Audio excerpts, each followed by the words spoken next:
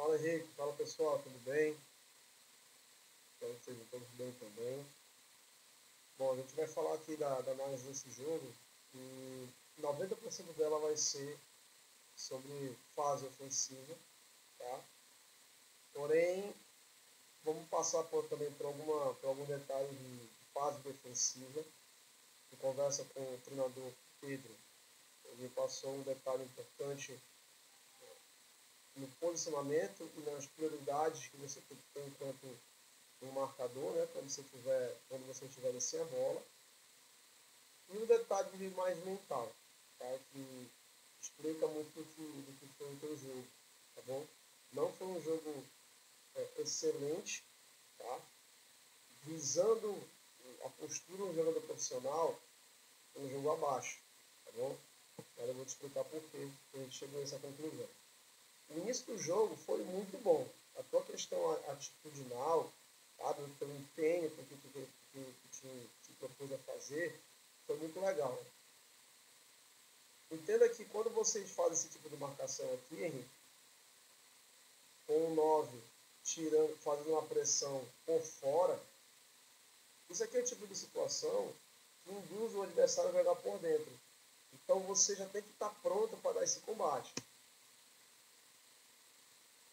E aí, ó, pronto. A roubada foi praticamente pelo corredor central e já gera uma situação de gol por dentro do campo. Tá? E aí você consegue encontrar um passe-chave diante de todo esse contexto.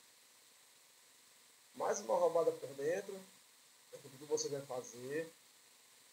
Você já está aparecendo ali de novo, querendo participar. Atenta a primeira e segunda bola, já se aproximando para disputar. É só para você de acordo com o teu posicionamento, você consegue é, é, ser o cara que vai conseguir é, atacar essa bola. Depois, ó, mais uma situação de enquadramento, uma boa trama da equipe de vocês, bom posicionamento, mais uma vez. Ó.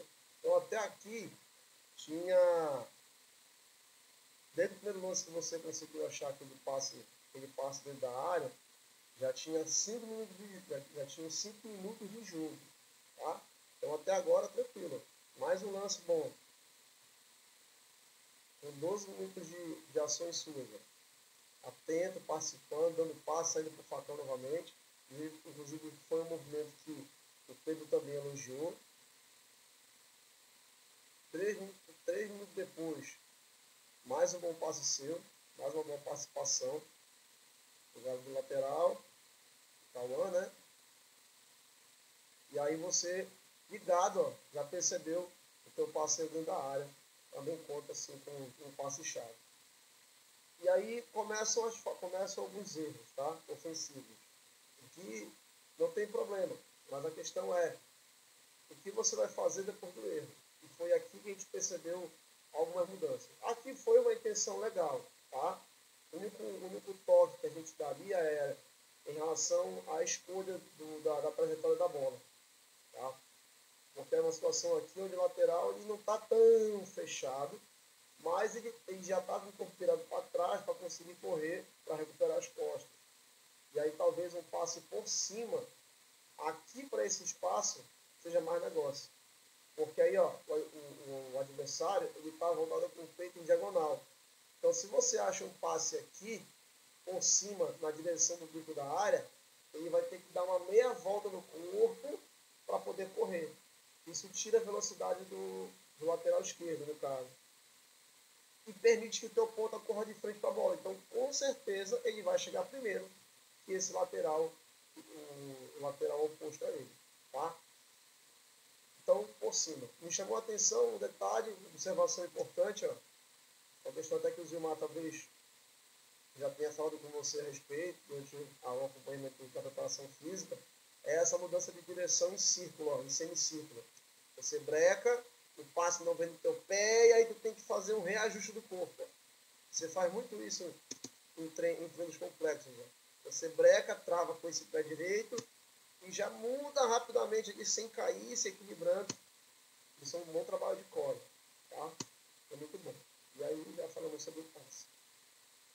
Aí você acha, aí na sequência você acha um passe interessante. Ó. passe, na verdade, foi a, melhor chance do gol, uma das melhores chances do gol que você criou. Inclusive, você mostrou esse lance. Perfeito. Você tinha muito espaço para conduzir, porém a vantagem já estava pronta. Nós falamos isso lá no da Ponte Nova, você vem, vem corrigindo muito bem isso. Tá? Então, é, é, a gente ficou muito nessa situação de, de muito R acerta, R acerta.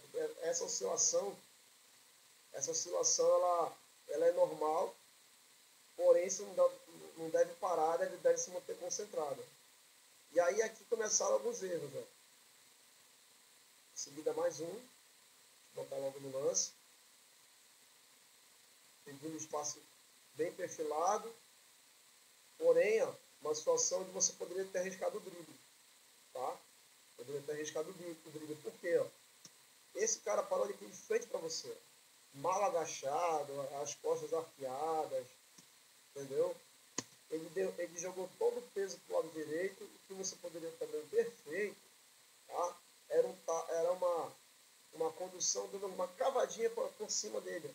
Porque na hora que você faz isso, ele ia esticar a perna ele não ia conseguir chegar. O jogo já quase resolvido, não ia ter tanta é, é, é, vontade de querer, de querer reagir. E aí ia ficar dois contra um dentro da área. E aí ou ia rolar uma finalização sua, ou um passe para esse cara fazer gol. Entendeu? Então, tenta perceber melhor o adversário que te enfrenta assim na frente da área. Que é uma situação que vai passar muito, porque tu joga como 8 10. Né? Você sabe jogar como 10 e sabe defender como 8. Como 5, perdão. E aí mais um lance. Ah, sim, esse é o mesmo lance, né? Depois, ó, o terceiro lance negativo. Então aqui é, uma, é um tipo de situação que precisa no jogo se recuperar muito rapidamente. E todas elas são situações onde, em fase de acabamento, próximo do gol, situações que você precisa estar concentrada. A intenção era boa, porque tu, esse cara arrastou para dentro, esse cara arrastou para dentro, mas você, se você tivesse um pouquinho mais concentrado, esse passe não, não ia ser no pé, ia ser no espaço. E aí da condição do marcador chegar. Fica fácil para o marcador conseguir chegar. Quarto lance seguido negativo. Acelerar um pouquinho. Ó, passa entre linhas. Ó. Mais uma vez. Quanto ao perfilamento do corpo. Ok, ó, de lado, vendo a bola e vendo o gol do adversário. Mas aí o domínio saiu muito bem e o passe menos ainda. Tá? É uma situação que você podia ter até arrastado, ó, indo para cima desse cara. Porque se você vai para cima desse cara, ele, ele, ele salta em você, esse cara ia ficar, ia ficar sozinho. Se ele não salta em você, você tem mais espaço ou para bater no gol, que não é mais recomendado nesse caso, ou dar o passe um desses dois aqui dentro. Entendeu? E aí, você precisa se recuperar mais cedo né, desses. Né? Vamos para o quinto. E aí nesse quinto, cara, foi um pouquinho, um pouquinho de cada, tá? Foi um pouquinho de cada. Esse cara aqui, ele conduz para cima da marcação, já podia ter dado passo a você, e da sua parte sair da bola, porque vem conduzindo. Aí um atrapalha o outro, aí começa uma discussão desnecessária, sabe? Isso aí no profissional não é, não é bem visto, tá? Então, cinco erros seguidos em sequência, você, com pouca minutagem, podia ter sido recuperado mais cedo, pela, pela força mental que a gente sabe que você tem. Tá? E o último lance, sim, foi um lance muito bom. Tá? Adiantar aqui, você recupera a bola. Perfeito. Mesmo, mesmo com espaço para conduzir, percebeu que a vantagem já estava pronta. E aí também nesse de especialização isso não existe, isso não pode acontecer no jogador de sub-20. Isso não é a postura de jogador de sub-20. Tá? enfim, mas já são os jogadores, a gente fala sobre você. É esse tipo de postura que não te coloca no profissional. Tá? Então, mais concentração, manter a seriedade que, que, que você tem o pai sendo. Em relação à fase defensiva, detalhes importantes. Ó. Nesse 4-2-3-1, que você faz no bloco alto, eu sugiro perceber se tem alguém aqui nas costas. Porque se você está aqui em diagonal, você consegue marcar dois caras nesse lance. Você consegue tirar a linha de passe aqui para dentro, se você tiver aqui posicionado, e já vigiando esse salto aqui, ó. ó se você está um pouco mais aqui, por exemplo, você continuaria sendo a primeira cobertura desse cara aqui, no caso do 10, né, da função 10, e ainda conseguiria evitar esse tipo de passe. Na hora que essa bola viajasse para cá, podia ser um indicativo de pressão seu para conseguir já armar um, um, um contra-ataque. Um outro lance parecido com esse. Vou pegar um pouquinho aqui.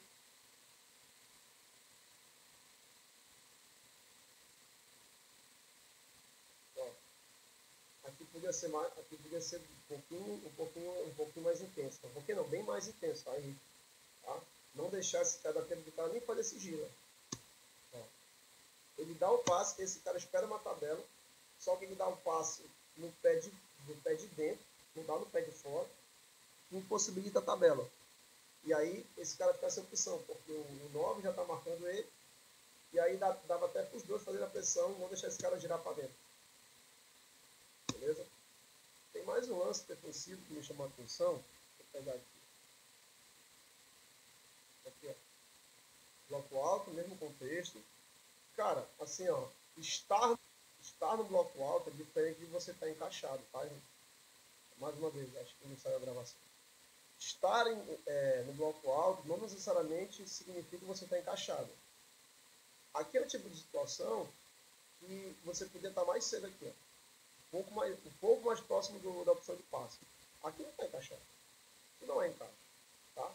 Encaixe é no momento se você consegue botar o pé na bola no momento que esse cara recebe, é sinal que você numa distância suficiente para você chegar na recepção do passe. Beleza? Então, faz essas correções, de alguma forma busca ser mais concentrado para ter tanta sequência de erro como teve, como te mostrei. Porque é um, eu peguei só acabamento porque é um tipo de jogo que você pode ter gol, tá? menos erros de acabamento e esses detalhes em marcação bloco. Tá bom? Um grande abraço, cara. Valeu.